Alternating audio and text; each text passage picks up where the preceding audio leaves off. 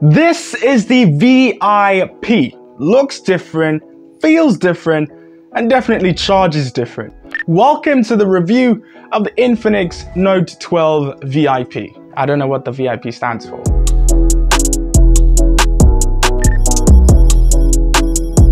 In the box, you still get all the accessories, a glass screen protector, and even wired earphones. Infinix are still one of the very few smartphone brands given actual accessories, with one being of significant note. the 120 watt hypercharger, which can go from 0 to 100% in 17 minutes. But we'll talk about that a bit later. Then of course we have the phone itself. It has a bit of weight to it, about 198 grams, but that's a good thing because it makes it feel premium. It's also very boxy, its sides are pretty thin at 7.89 millimeters and it's so flat that it can stand on its own. It feels just like the Zero X from last year. I was a big fan of that then and I can say the same thing about this. It's one of those phone designs that are just in your face and that's mostly thanks to the camera module.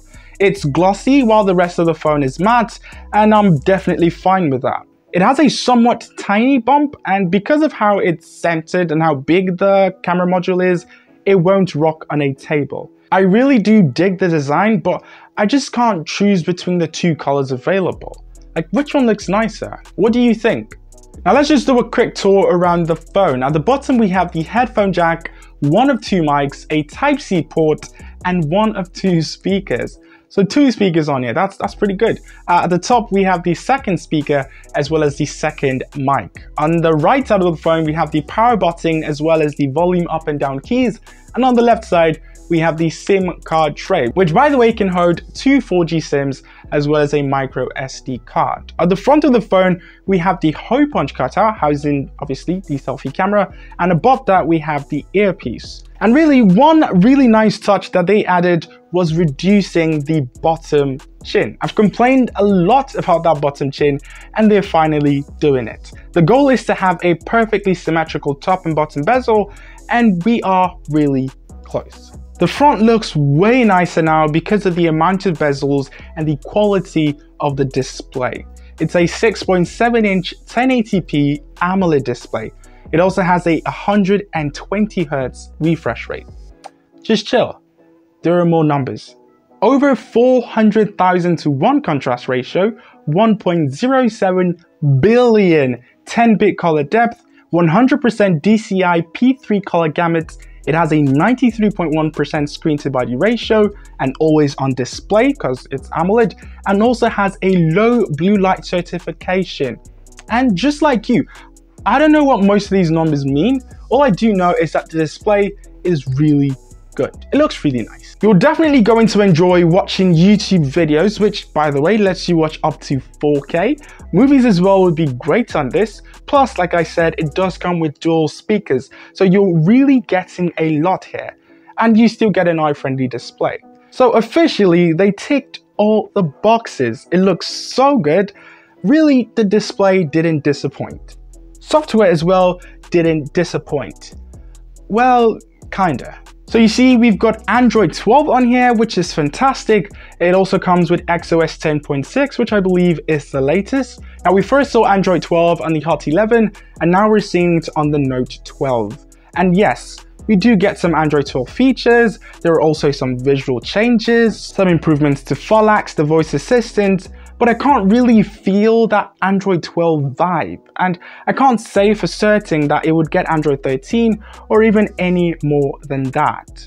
Now there is also bloatware, and at this point, to be honest, everyone knows how to get rid of them. So yeah, glad we've got Android 12, but we want more. Oh, hello there. I interrupt your regularly scheduled program. That, that's how they say it, right? I'm sure you don't know this, and neither does he, but I'm racing Fenton from Gadgetsu to 15,000 subscribers. I'm currently behind him now, but I feel like we can catch up and get to 15k before him. So if you want to help me, all you just have to do, yes, you watching this video, is subscribe to the channel. That is, of course, if you're enjoying the video. Now back to the video. The camera module houses the 108 megapixel main camera.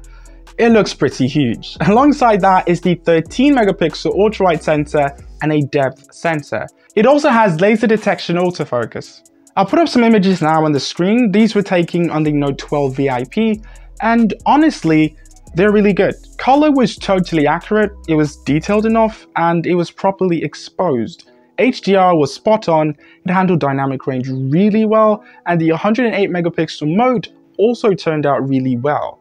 The main camera, I think, is really good. The ultra-wide though, as expected, isn't as good. My main gripe though is with color. It looks dusty, it's kind of brown. It might be just this unit, so I'll update you in the comments if I find any new information. Portrait mode uses the main camera and boy are they good. Color looks good and subject separation is pretty spot on as well. I tried it with the selfie camera and it separated me from the background pretty well. Now the selfie camera is 16 megapixels and although the color isn't as bad as the ultra wide, it's not as good as the main camera, understandably so.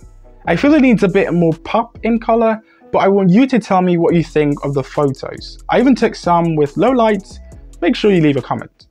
For video, on both cameras, it shoots up to 2K, but Ultra Steady mode is only available in 1080p. Now, I think the rear cameras did a good job, especially with dynamic range. The front camera, though, not so much. It struggled to keep my face and the background properly exposed. Like, it doesn't completely blow out the sky.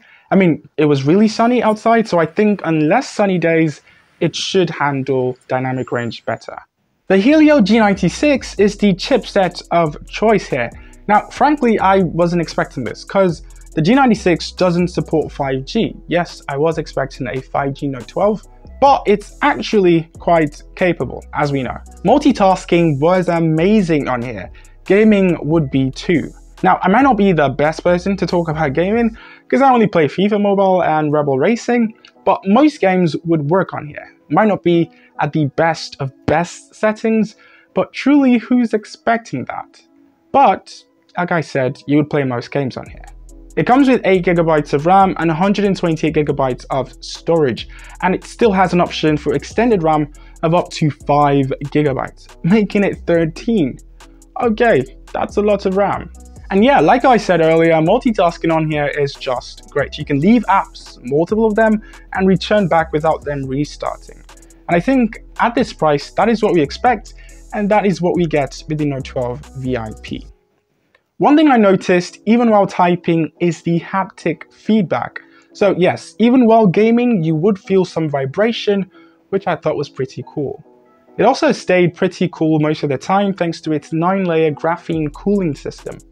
Cooling is definitely super important, especially in this phone because of its ridiculous 120 watt fast charging, which as I mentioned goes from 0 to 100 in 17 minutes. Okay, it's a dual cell battery, so it's charging the two at the same time. So that's how it's able to charge this phone so quickly. But in order for the phone to, you know, not... yes, I did that with my mouth. they had to put some measures in place. Now we've got 103 protection features spanning from the charger to the circuit to the battery. We've also got 18 thermal sensors which monitor the device's temperature to make sure you charge safely. And in terms of how it affects your battery health, well, you should get about 800 charging cycles, which is about two years. And at that time, your battery health will be about 85%, uh, which is kind of industry standard. So clearly they've thought about all of this and they've done their homework and research before actually putting this out. So I guess there's nothing to worry about.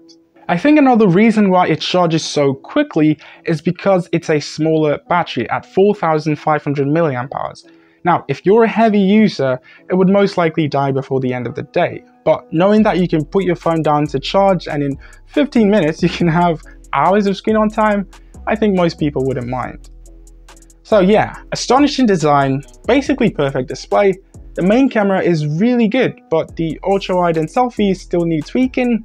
Performance is satisfactory at least. It's perfect for regular people, but no 5G here, and of course, crazy fast charging. All of that for 199,900, which is basically 200,000. So definitely not cheap.